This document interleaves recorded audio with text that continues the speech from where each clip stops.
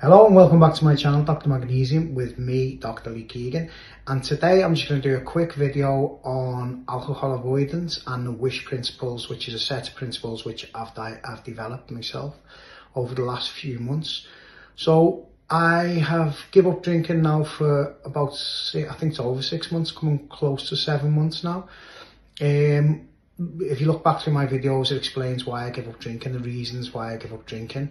Um, just didn't like the person I was basically when I was drinking. I didn't like the fact that it was robbing me of my weekends and family time. And it, I, I realised I developed a problem over the years of depend alcohol dependence. Um, every weekend, every Friday, every Saturday, every Sunday, really, it was just repeating cycle over same, over same, over same, over weekend, every, every, just going on and on, month on end. Um, my level of drinking was increasing within that time. I was drinking more alcohol and I just didn't want to do it anymore. I just felt like it was time to stop. Um, it, it can be difficult at times to stop drinking. I, I know anybody who's got an issue with drinking in the past would would know that it can be difficult to stop drinking. It's not easy. If it was easy, everybody would do it. Nobody would drink probably. Um, but yeah, it's I, have used techniques such as I, I continue to socialise, which I'll go through my wish principles in a minute. But I've continued to socialise over Christmas. I've I, I drink alcohol-free lager a lot of the time now because I, I like the taste of, of lager, and it was it was my favourite drink. Still is my favourite drink probably. So I've continued to drink zero beers, and there's a large range of zero beers out there now. Most places you go have, have a good range. Um, so it's not that difficult really to, to still go out, to still socialise.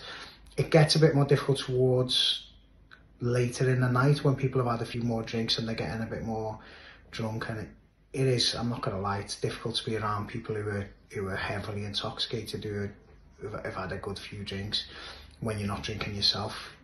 It's difficult to tolerate, people become repetitive and the, the worst side of people tends to come out the, the more drink that they have. So it, that part can be difficult, I'm not going to lie, but I've continued to socialise. I haven't let it ruin my life not drinking. I've continued to be social, be the person that I was really. Um, so I found that okay. So yeah, there's plenty of stuff out there. So I'm going to reiterate my wish principles now, which is a set of principles that I've developed myself over the last few months. Um, I don't, I'm not trying to make money off this. I'm not trying to um, use this to sell anything, to, to, to promote myself or my channel. This is just principles that I think can help people. So it's, it's called the WISH principles, W-I-S-H. So W is why. You've got to establish why you want to stop drinking. What's your reason for wanting to stop drinking? Identify problems that alcohol is causing in your life, um, problems that's caused in the past.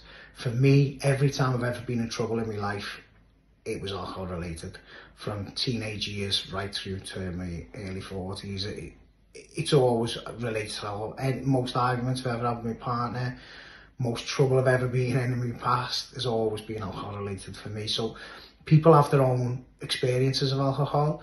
People have their own experiences of the problems that alcohol has caused within their own life. So everybody has their own specific reasons. What you've got to do is identify why, why you want to stop, what trouble alcohol's caused you, what problems alcohol's caused in, your life. The I is to recognize that alcohol, alcohol addiction or drinking too much alcohol is not an illness. It's no matter what they tell you, no matter what AA tells you, no matter what these groups say, it's not an illness. It's a choice you always have the choice. Nobody opens your mouth and pours a drink down your mouth. It's always you. You're always that person that chooses to take that drink, no matter what the reason, no matter what the triggers are, no matter what the emotional, um, the, the emotional impulses are that make you drink. It's still you that's drinking. It's not an illness. You haven't got cancer. You haven't got heart disease. It's it's a choice. You, you're addicted to a drink or to alcohol a drug and you choose to put that drink in your body. Nobody else chooses. I'm not saying it's easy to stop drinking. I'm just highlighting that this is not an illness. So that's the I. So you've got Y, illness. It's not an illness. And S is it's important when you stop drinking to continue to socialise. So if you isolate yourself, lock yourself away, deny yourself of any pleasure that you have in life, you're not going to stick to it.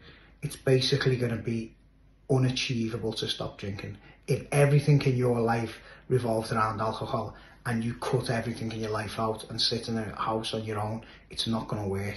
You might stop drinking for a week, you might stop drinking for two weeks, a month, three months, but the second you get back out and you get yourself back in that environment, you're going to start drinking again.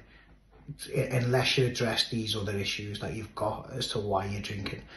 There's um, techniques, the AVRT techniques, which I've gone over in previous videos. You can look back through them, they'll help you, but this is just my principles that, that I'm going through at the minute.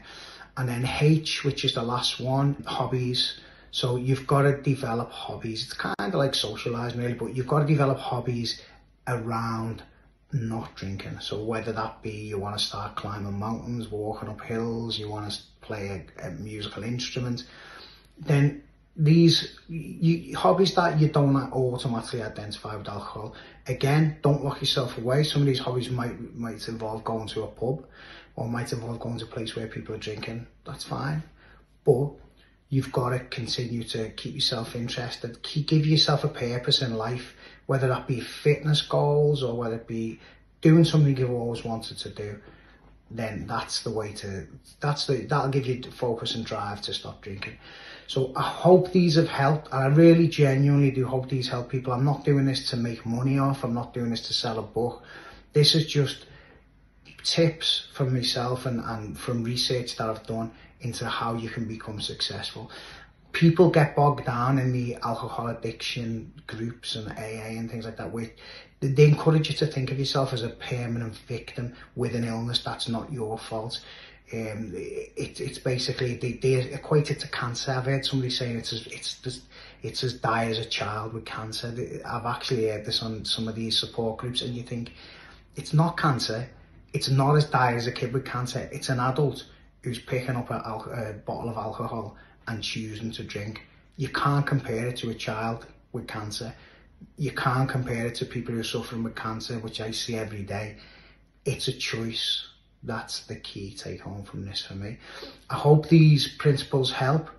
Um, obviously, I'm not saying it's going to solve all your problems watching these videos, but I think it gives you a positive a positive message. It gives you, you can change. Everybody is capable of changing habits. Everybody's capable of changing a life.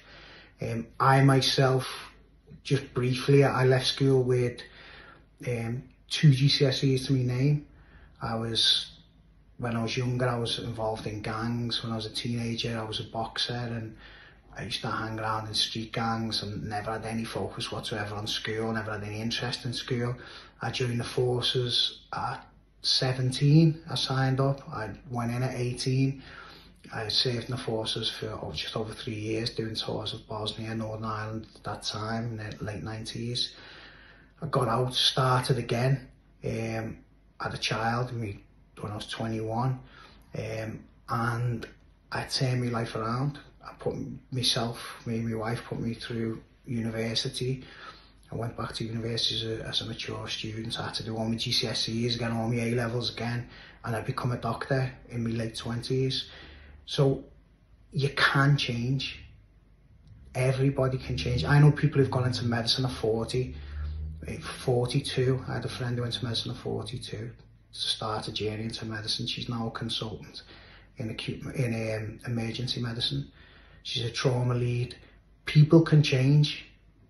That's that's what you've got to take from this. People can change. Just because you're at rock bottom now, just because you're drinking alcohol every day, it doesn't mean that's you. That doesn't define you as a person. That's not what you are. It's where you are now. It's not what you are. You can change. Everybody can change. Everybody's capable of changing. But you've got to help yourself. Nobody else is going to help you.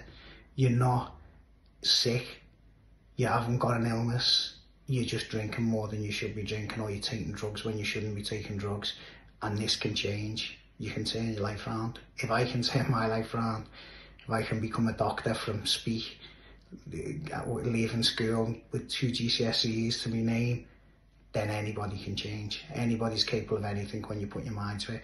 So I hope these videos help. Please keep watching. Please share away. Subscribe to my channel and follow me if you like what you're seeing on this channel.